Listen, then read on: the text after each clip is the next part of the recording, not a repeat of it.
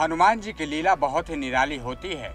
वो कब अपने भक्तों को ढेर सारा सुख देकर सरप्राइज़ कर दें, कुछ भी कहा नहीं जा सकता है।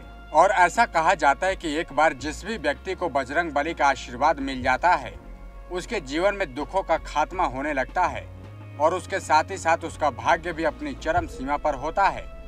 मतलब वो जो भी काम करता है, उसमें उसे सफलता आसानी से हाथ लग जाती है।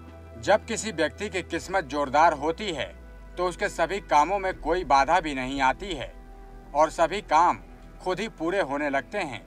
और शायद यही वजह है कि हर कोई हनुमान भक्ति में लीन रहना पसंद करता है। ऐसे में कुछ खास राशियों के ऊपर हनुमान जी एक खास कृपा को बरसाने वाले हैं, और जिन राशियों को उनका आशीर्वाद प्राप्त होगा, उनके जीवन में सुख, शांति और समृद्धि आ जाएगी।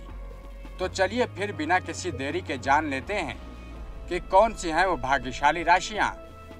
पहला, वृषभ राशि। इस राशि के लोगों को हनुमान जी के खास आशीर्वाद मिलने जा रहा है, जिसके तहत आपकी ज़िंदगी में सुखों का अंबार लग जाएगा और ये आने वाले चार महीने आपके लिए बहुत ही सुखमय और आनंदित बीतने वाले हैं। इन चार महीनों में आपके जीवन के सभी दुख या फिर तकलीफें दूर हो जाएँगी। और आप अपनी लाइफ बहुत अच्छे से एंजॉय कर पाएँगे। दूसरा, सिंह राशि। इस राशि के जातक को हनुमान जी की कृपा के चलते धन लाभ होने के योग हैं। आने वाले पाँच महीनों के लिए आपकी लाइफ में धन की आवक बढ़ सकती है। आपको धन अर्जित करने के कई नए अवसर प्राप्त होंगे। इसलिए आप भी इन मौक़ों का पूरा लाभ ज़रूर लें और अपने पैसों को बढ़ाने की कोशिश करें। क्योंकि आपके ऊपर हनुमान जी का आशीर्वाद है, इसलिए आपके कामों में कोई भी बाधा नहीं आएगी। बाय चांस अगर कोई मुश्किल भी आती है तो आप बजरंग बली का नाम लेकर उसे आसानी से हल कर पाएँगे। कुल मिलाकर देखा जाए तो धन की दृष्टि से ये पाँच महीने आपके लिए अति उत्तम रहने वाले हैं। आप चाहे तो कहीं पैसों का निवेश भी कर सकते हैं, जिससे आपको भविष्य में फ़ायदा होगा।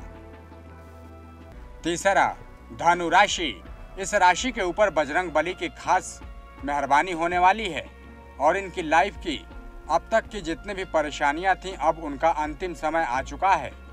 खास करके आपके जो भी अटके हुए काम थे, वो अब जल्द ही पूरे हो जाएँगे।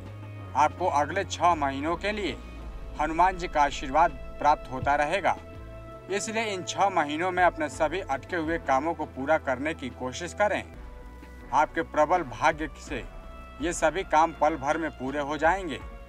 एक बात और ध्यान रखें कि किसी भी काम को शुरू करने से पहले हनुमान जी के सामने माथा ज़रूर टेकें। इससे आपके काम पूरे होने के चांस हैं और भी बढ़ जाएँगे।